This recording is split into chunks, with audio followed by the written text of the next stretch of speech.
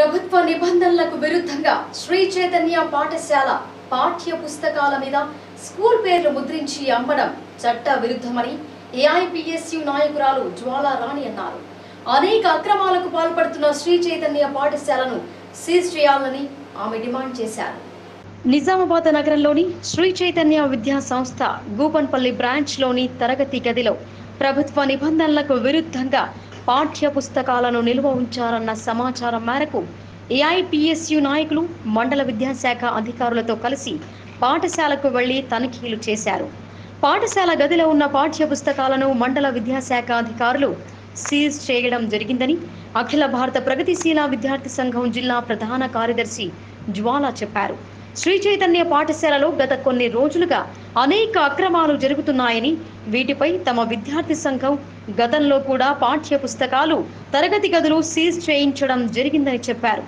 అయినప్పటికీ యాజమాన్యంకు ఎలాంటి చీమ కుట్టినట్టు కూడా లేకుండా తమ స్కూల్ను తమ ఇష్టం వచ్చినట్టు విద్యాశాఖ అధికారులు హెచ్చరించినా కూడా లెక్క చేయకుండా అనేక అక్రమాలకు పాల్పడుతున్నారని అన్నారు. ఇప్పటికైనా జిల్లా విద్యాశాఖ అధికారులు వెంటనే స్పందించి పూర్తి స్థాయిలో శ్రీ చైతన్య పాఠశాలను సీజ్ చేయాలని అన్నారు. విద్యాశాఖ అండదండలతోనే వారు అక్రమాలకు పాల్పడుతున్నారని ఇప్పటికైనా జిల్లా కలెక్టర్ వెంటనే స్పందించాలన్నారు. ఈ కార్యక్రమంలో ఏఐపిఎస్యు రాష్ట్ర నాయకులు కిరణ్ తదితరులు పాల్గొన్నారు. నిజామాబాద్లో గూపన్పల్లి శ్రీ చైతన్య విద్యా సంస్థ మీద గత తొమ్మిది రోజులుగా ప్రతిరోజు ఒక్కొక్క గదిని సీజ్ చేస్తూ ఉన్నారు. కానీ జిల్లా విద్యాశాఖ అధికారి కానీ మండల విద్యాశాఖ అధికారి కానీ ఇప్పటివరకు స్పందించి ఆ యొక్క విద్యా సంస్థను సీజ్ చేసిన దాఖలు లేవు. తొమ్మిది రోజులుగా ఇంత వేధిస్తున్నారు వీరు ప్రభుత్వ విద్యాధికారుల్ని. ఇంకా పేరెంట్స్ని ఎంత వేధిస్తారు? విద్యార్థి సంఘంగా ప్రతి ఎవిడెన్స్ని పూసగుచ్చినట్టు తీసుకొచ్చి ఇచ్చిన ఇప్పటి వరకు బిల్డింగ్ సీజ్ చేయట్లేదు. రోజు ఒకటి రెండు గది చొప్పున సీజ్ చేస్తారు ఇట్లాంటి తోక పేర్లు ఉండొద్దని చెప్తే ఇప్పుడు తొమ్మిది రోజులు గడివిస్తే కూడా దీని మీద పెయింట్ వేయకుండా ఇప్పుడు ఎంఈఓ ఆఫీస్ నుంచి అధికారులు వస్తే వాళ్ళ ముందర వాళ్ళని కూర్చోబెట్టి మరి అలా పని అంతా వేస్ట్ చేసుకుంటా?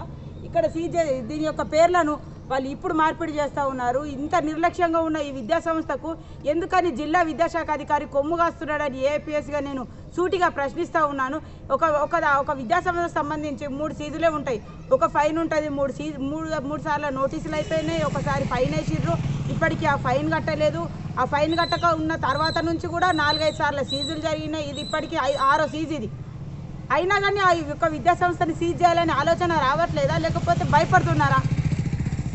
దయచేసి ఇన్ని అక్రమాలకు పాల్పడుతూ విద్యాధికారుల పనిని కాలయాపనని అట్లానే విద్యార్థి సంఘం యొక్క పనిని కాలయాపనని మొత్తము గంగలో కలుపుతున్నటువంటి శ్రీ చైతన్య విద్యా సంస్థను తక్షణమే సీజ్ చేయాలి లేని పక్షంలో రేపు ఉదయం పది నుంచి పదకొండు గంటల మధ్యలో ఇదే కలెక్టరేట్ వద్ద టెంట్ వేసుకొని మరి ఈ యొక్క శ్రీ చైతన్య విద్యా సంస్థకు సంబంధించి రీలే నిరాహార దీక్షలు చేపట్టి సీజ్ చేసే వరకు కూడా ఆ టెంట్ని ఎత్తివేసేది లేదని విద్యా